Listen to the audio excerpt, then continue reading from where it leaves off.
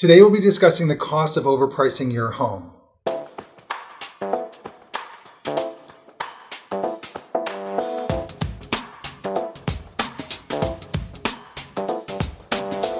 Hi, this is Sean Quinn with RE/MAX Premier.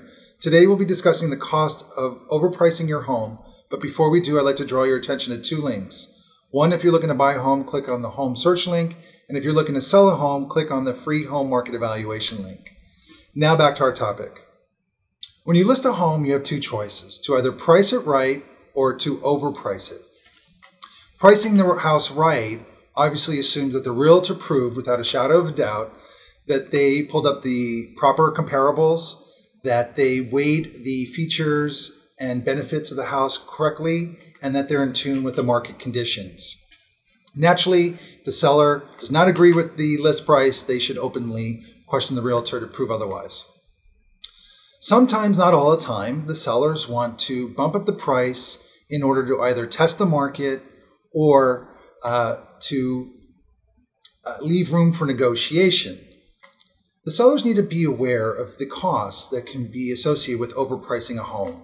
Number one, overpricing a home can scare the right buyer away. Sellers tend to think that there's a handful of buyers that want to buy their home at any given time.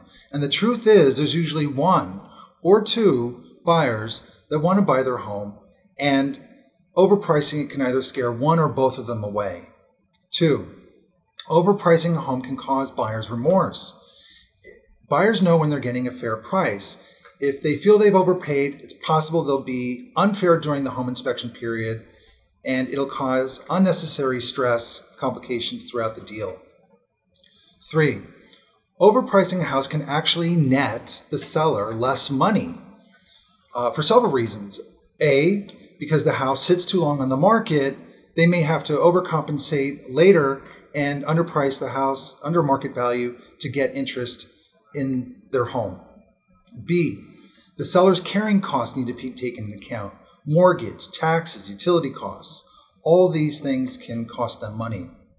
Three, things happen, especially in the state of New Jersey, with the weather that we have, to homes like uh, you know, frozen pipes, water in the basement, uh, systems fail like water heaters and furnaces can fail, sump pumps. So the sooner that the, the seller sells that home, typically the better, particularly in New Jersey.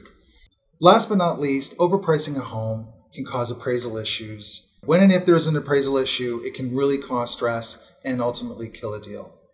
So, um, if you'd like a free consultation on the price of your home. We welcome you to contact me. Thank you for watching my video. Thanks and have a great day.